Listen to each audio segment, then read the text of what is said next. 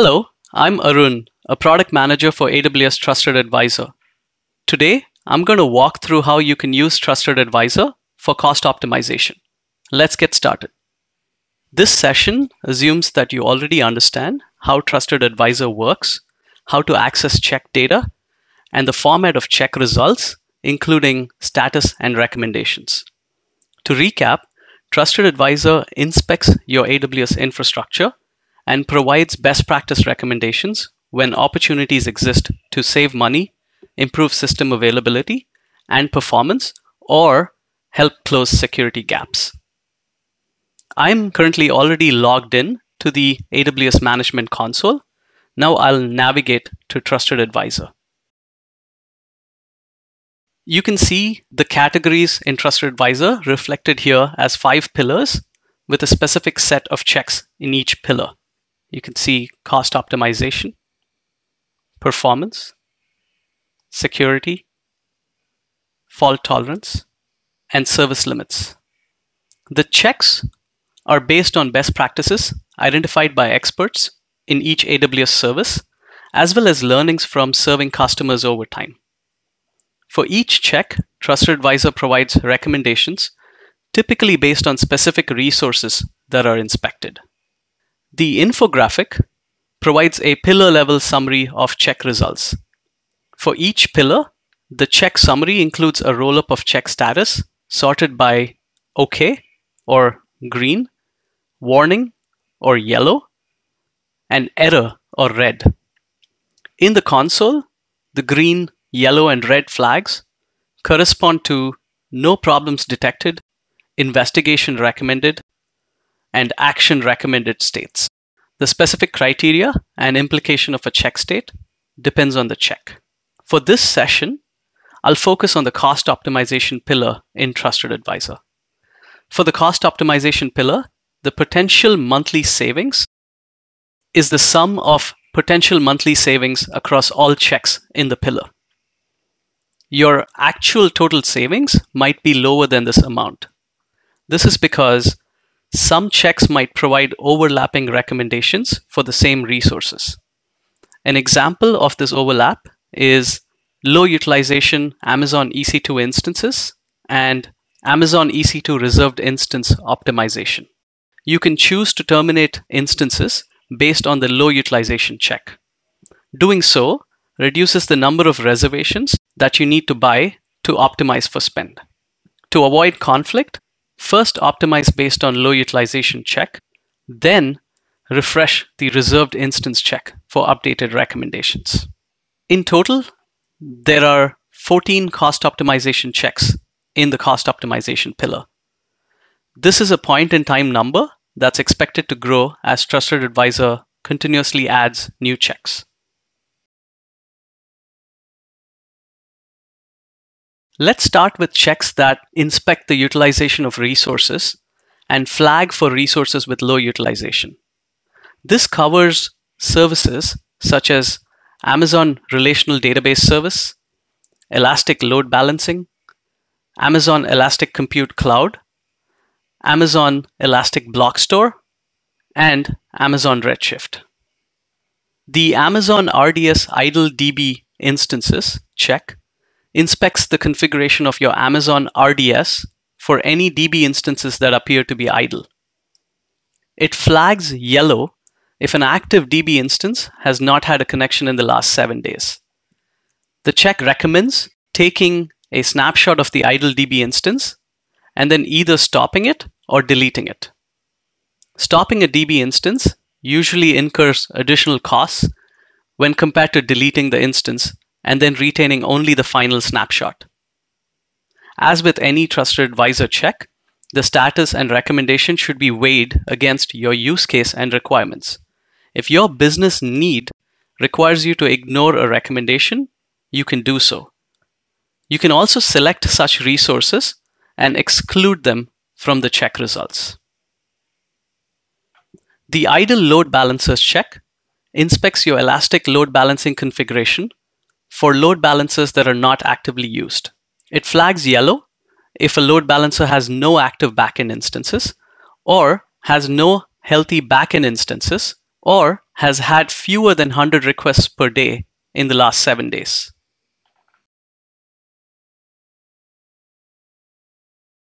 The low utilization Amazon EC2 instances check inspects the Amazon EC2 instances that were running at any time during the last 14 days and alerts you if the daily CPU utilization was 10% or less and network IO was 5 MB or less on four or more days. The check recommends stopping or terminating instances that have low utilization or scaling the number of instances by using autoscaling.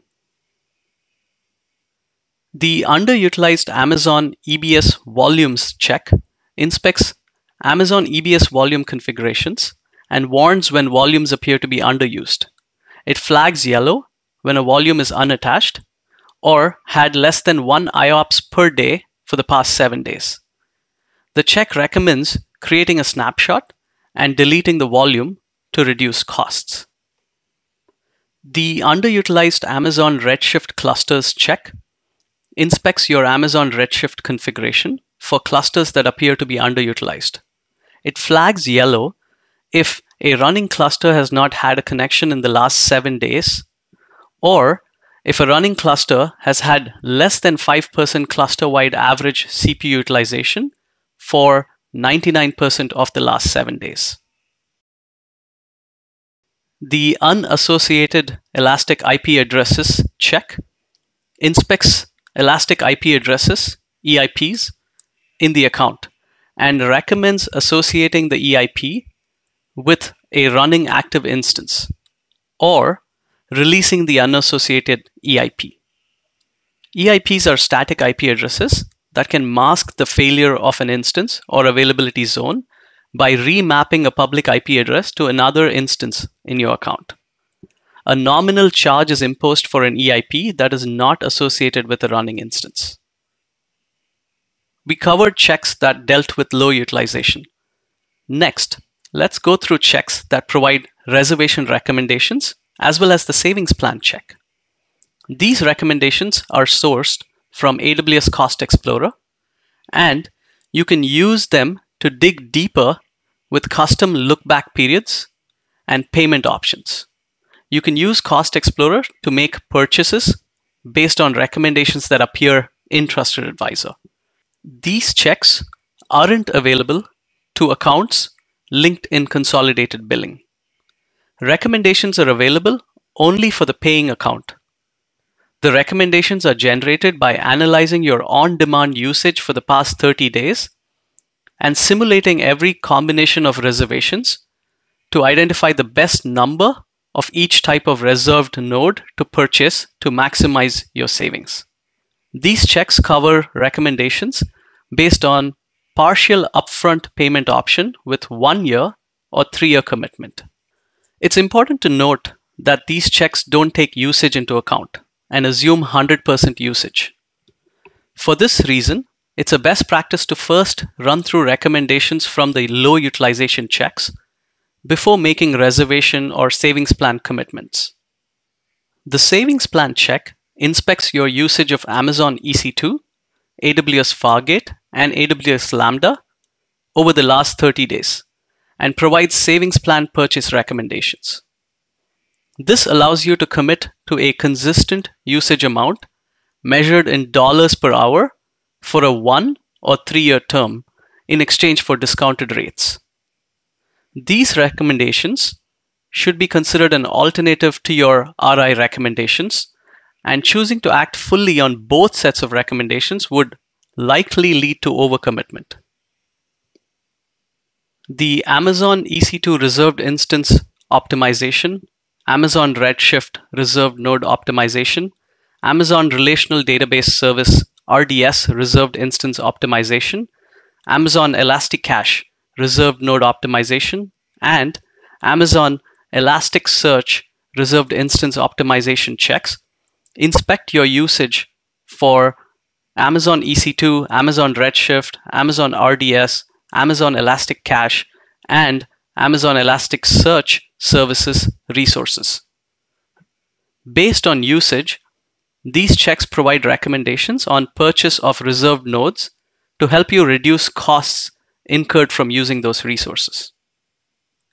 Taking Amazon Redshift reserved node optimization as an example, you can scroll down to the table of recommendations and then choose columns display to see the column names.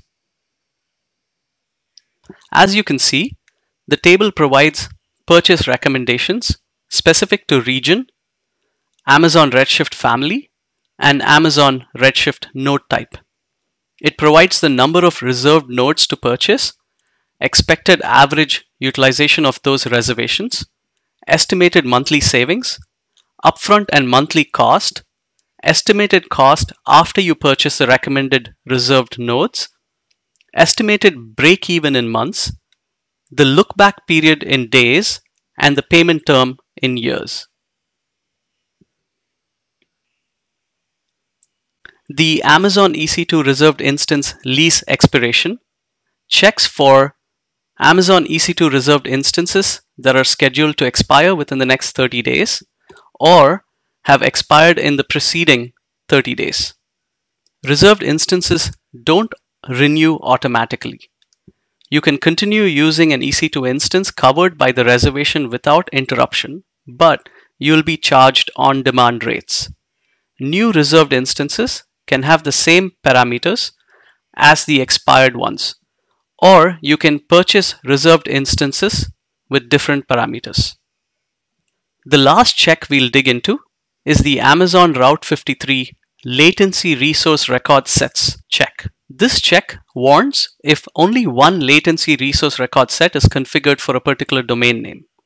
To allow Route 53 to route queries to the region with the lowest network latency, create latency resource record sets for a particular domain name in different regions. If you create only one latency resource record set for a domain name, then all queries are routed to one region and you pay extra for latency based routing without getting the benefits. This check inspects your Route 53 latency record sets that are configured inefficiently. It recommends that you define a latency resource record set for each region if you have resources in multiple regions. It recommends creating resources in more than one region and defines latency resource record sets for each if you have resources in only one region. It recommends using a simple resource record set if you don't want to use multiple regions. To summarize, we went through 14 cost optimization checks in AWS Trusted Advisor that can help you save on your AWS spend. Recommendations from these checks can be obtained from the AWS console, which we showed here, through the AWS Support API, as well as integration with Amazon CloudWatch events. Thanks for watching and happy cloud computing from all of us here at AWS.